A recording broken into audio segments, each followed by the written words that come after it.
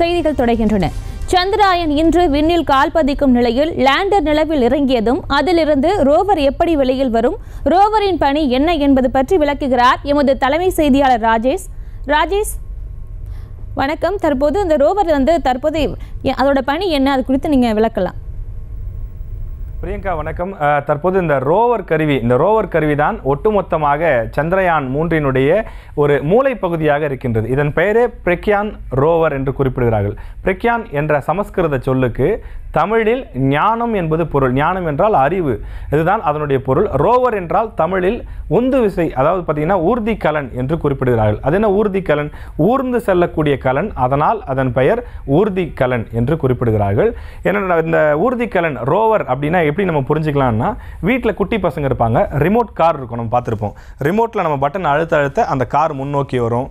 பின்னோக்கி வரும் சைடில் போகும் இடதுபுறமாக திரும்பி போகும். இப்படி தேவைப்பட்ட திசைகளுக்கெல்லாம் திரும்பி செல்லும். ஒரு குட்டி கார் எப்படி போகுமோ அது மாதிரியே ஒரு பதினாலு கிலோ எடையில் தயாரிக்கப்பட்டிருக்கக்கூடிய ஒரு குட்டி ரோபோட் கார் தான் இந்த ரோவர் இந்த ரோவர் தான் ஒட்டுமொத்த சந்திரயான் சந்திரயான் என்று சொல்லி நாம் எல்லாம் சொல்லிக்கிட்டு இருக்கோம் இல்லைங்களா? அதில் இருக்கக்கூடிய ஒரு மூளை பகுதி ஒரு குட்டியான ஒரு பகுதி. இந்த பகுதி தான் நிலவினுடைய மேற்பரப்பில் ஊர்ந்து செல்ல போகுது. அப்போ அது வேகமாக போகுமா? ரிமோட் கார் மாதிரி வேகமாக போகுமா? அப்படின்னா வேகமாகலாம் போகாது.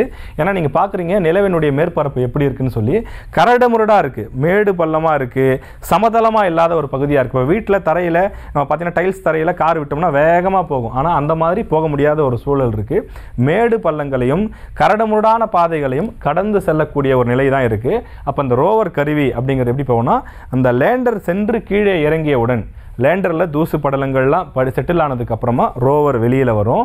ரோவர் வெளியில் வந்ததுக்கப்புறம் ஐநூறு மீட்டர் அதிகபட்சமாக போகும். எல்லா திசையிலும் போகும். கிழக்கு மேற்கு வடக்கு தெற்குன்னு எல்லா திசைகளிலும் பயணிக்கும். மெதுவாக செல்லும். அதாவது இன்றைய தினம் தரையில் இறங்கிச்சு அப்படின்னா தரையில் இறங்கியதிலிருந்து அடுத்த பதினான்கு நாட்களுக்கு இந்த ரோவருடைய பணி என்பது இருக்கும்.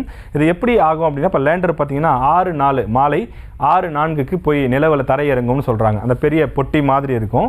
அதுதான் லேண்டர் தரையில் போய் இறங்கிடும். தரையில் இறங்குனதுமே ரோவர் வெளியில் வந்துடுமா அப்படின்னா வெளியில் வராது. முதல்ல இந்த ரோவர் வந்து எப்படி இருக்கும்? லேண்டருக்குள்ளே எப்படி இருக்கும்? அப்படின்னா நமக்கு கங்காரு தெரியும். கங்காரு தன்னுடைய குட்டியை வயிற்றுக்குள்ளேயே வச்சுருக்கோம் எப்போவுமே.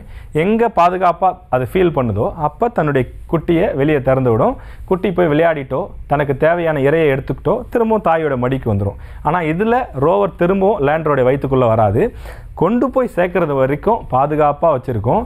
இது ஒரு சேஃபான இடம். இந்த இடத்துல நம்ம தரை இறங்கலாம் அப்படின்னு முடிவு பண்ணி இன்று மாலை ஆறு நான்குக்கு தரை இறங்கி விட்டது என்று சொன்னால் உடனடியாக வெளியில் வருமானா வராது. ஏன் வராது அப்படின்னா நீங்கள் யோசிச்சு பாருங்கள் ஒரு இருபத்தி எட்டு கிலோ எடை இருக்கக்கூடிய ஒரு பொருள். ஒரு சாம்பல் நிறத்தில் இருக்கக்கூடிய இந்த மண் தட்டுக்கள் நிறைந்திருக்கக்கூடிய மண் திட்டுக்கள் நிறைந்திருக்கக்கூடிய இந்த பகுதியில் தொப்புன்னு விழுந்துச்சுன்னா என்ன ஆகும்? புகை வரும். மண் துகள்கள்லாம் மேலே கிளம்பி வரும்.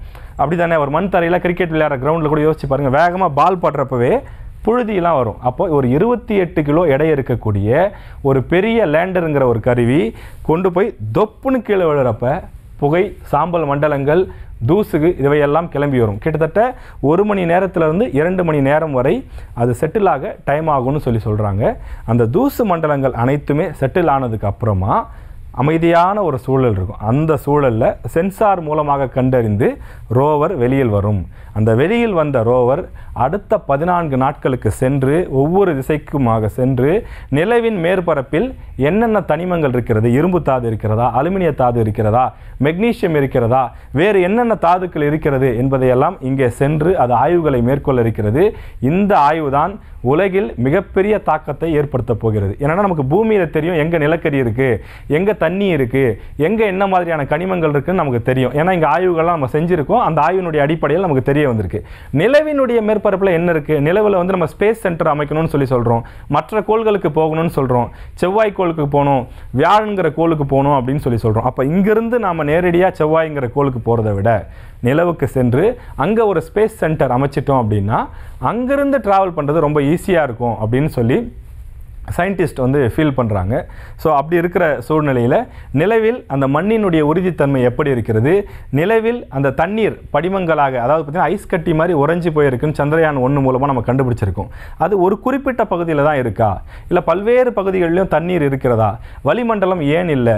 இப்போ சூழ்நிலை இப்படி இருக்குன்னா ஒரு நூறு ஆண்டுகளுக்கு முன்பு ஆயிரம் ஆண்டுகளுக்கு முன்பு நிலவினுடைய தன்மை எப்படி இருந்திருக்கும்? இந்த மாதிரியான ஆய்வுகளை இந்த ரோவர் கருவி செய்ய இருக்குது பதினான்கு நாட்கள் தொடர்ந்து நிலவின் மேற்பரப்பில் பல்வேறு இடங்களுக்கும் சென்று அங்கே இருக்கக்கூடிய மண் துகள்களை எடுத்து இப்போ தங்கத்தை எடுத்து உடைச்சோம் அப்படின்னா அதில் எவ்வளோ தாமிரம் இருக்குது எவ்வளோ தங்கம் இருக்குன்னு தெரிஞ்சிடும் இல்லைங்களா? அதே மாதிரி தான் மண்ணினுடைய நிலவினுடைய மண் துகள்களை எடுத்து அதை உடைத்து அதில் இருக்கக்கூடிய தனிமங்கள் என்னென்ன இருக்கிறது என்ற விவரங்களை எல்லாம் பூமிக்கு அனுப்ப இருக்கிறது அந்த விவரங்களை அனுப்புவதற்காகத்தான் இந்த ரோவர் கருவி அனுப்பப்பட்டிருக்கிறது. இந்த ஒட்டுமொத்த சந்திரயானுடைய மூளைப்பகுதியாக ரோவர் இருக்கிறது. அது இன்று இரவுக்குள்ளாக தரையில் இறங்கி ஊர்ந்து சென்று ஆய்வுகளை மேற்கொள்ள இருக்கிறது.